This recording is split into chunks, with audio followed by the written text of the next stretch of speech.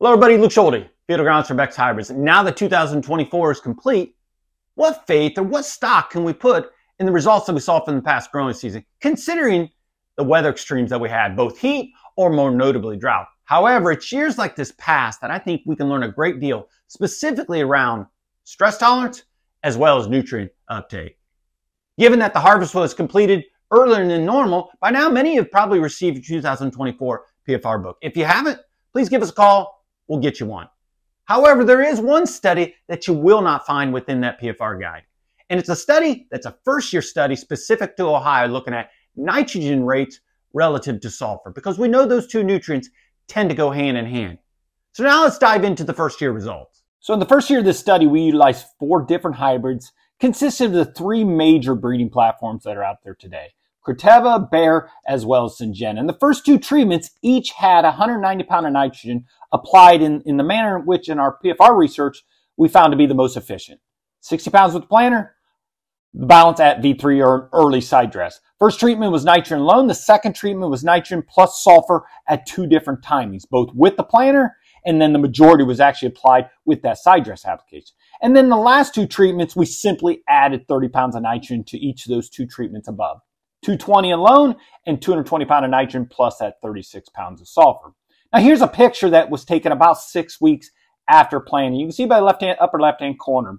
This plot was planted the end of April, side dressed third week of May, and then this picture was taken about two weeks after side dressing. So by now, obviously the, the plant root system has taken up that, that two by two starter of nitrogen alone or nitrogen plus sulfur, and it's all starting to get into those side dress nutrients as well. But it was unmis- it's unmistakable, obviously, how the sulfur treatments are not only much greener and lusher, but it also really designates or denotes just how nitrogen and sulfur tend to work uh, uh, hand in hand. You can see by between those red lines, those are the two treatments are the same two hybrids, a Syngenta as well as a Bayer-based uh, hybrid at 220 pounds of nitrogen, just without sulfur on the left and with sulfur on the right. And obviously it's much greener in color, but it's obviously a fuller plant as well. You can see how just having more nitrogen doesn't create the photosynthate, but the nitrogen plus sulfur is creating a plant that not only has more chlorophyll, but the additional nitrogen is creating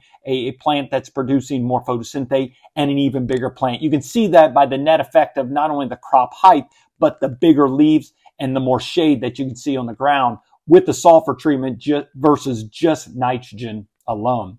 Now, what did the data tell us? The data would simply say by adding more nitrogen didn't necessarily provide us much of a higher return on investment. We got a five bushel bump, but we spent most of that in that additional 30 pounds of nitrogen. But what was really interesting is the significant responses we've seen with the addition of sulfur. You can see adding 36 pounds of sulfur to 190 pound of nitrogen gave us a 16 to 17 bushel yield bump. And then when we went up to the 220 pound rate, we got an additional, not an additional, I should say, but we got a 12 bushel bump versus nitrogen alone. Couple things that I take from that study. One, just simply adding nitrogen didn't provide us the net return we were looking for.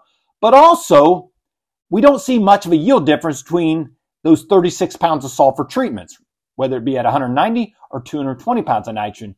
To me, that would exemplify that perhaps we didn't go high enough uh, to a high enough rate of sulfur. Maybe nitrogen wasn't the limiting factor. Sure would appear it wasn't, but perhaps we could have got an additional benefit had we gone to higher sulfur rates. So there's also some other additional benefits I think it's important that we take into mind uh, with sulfur uh, is especially with higher rates of sulfur, like 30 pounds and greater.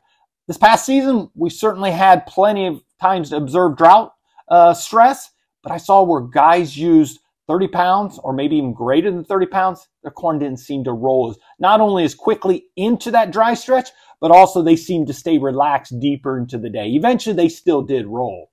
Probably one of the things that uh, we can prove not only anecdotally, but we can also see this in data is the accessibility of sulfur early between that V3, V7, and particularly when we have anaerobic conditions, most notably in our clay soils. The accessibility of sulfur, in some cases two by two, certainly leads to less premature plant death. We've seen uh, in our sulfur timing studies up until this point, no single application has netted uh, a more consistent ROI than some nitrogen, or excuse me, some sulfur in that two by two application. The third bullet point is another case of anecdotal evidence. I can't prove this with data, but one thing that I've seen is particularly tar spot, but any leaf disease where growers, where farmers are utilizing 30 or maybe even more sulfur, 30 pounds of sulfur or more, plant leaf diseases seem to be uh, delayed. Certainly diseases like tar spot seem to come in yet, but they don't seem to come in until later growth stages when sometimes it's even debatable whether we treat or retreat for. And then another case of anecdotal evidence. In 2024, we didn't have much vomitoxin, but in 2023, asking a number of growers that are using, I would say, much higher rates of sulfur, like 40, 45 pounds of sulfur, didn't seem to have the vomitoxin issues uh, that others did with the same hybrids. We're going to expound upon that in a study this coming growing season, but there seems to be some anecdotal evidence that it can be beneficial to vomitoxin. And then North Dakota State University proved this a number of years ago that, that sulfur, uh, along with our UAN or urea applications, helps to reduce the effects and, and reduce that nitrogen volatility that can occur, especially with our surface applications. So in summary, it's first year of the study. We're going to further evaluate this. We're going to add some additional treatments with higher rates of sulfur, but we have to remember nitrogen and sulfur go hand in hand. Just simply adding more nitrogen isn't going to necessarily give us that ROI we're desiring.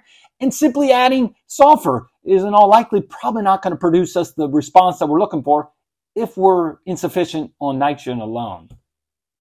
Lastly, if you like this type of information, this is just one segment of what we learned throughout PFR this past year. Uh, in the first two weeks of January, we're going to host a number of different, what we call our PFR Insight meetings to not only reflect back what we learned from 2024's research, but also what did the weather indicate and what are some of those management practices that tended to rise to the top to negate stress and some of those findings. So you can see by the screen in front of you, we're going to host quite a few different meetings, both at lunch, dinner, even a breakfast meeting as well. So if you can make it, we'd love to have you. If you can make the time, there's a QR code in front of you to RSVP. That just gives us a better, uh, obviously, understanding of, of how many to expect so that we're, we're prepared, most importantly, for food. But if you forget to RSVP, don't worry about it. Just come along anyway. You don't have to be a Beck's customer. We would love to have you. With that said, we appreciate you tuning in. Have a Merry Christmas.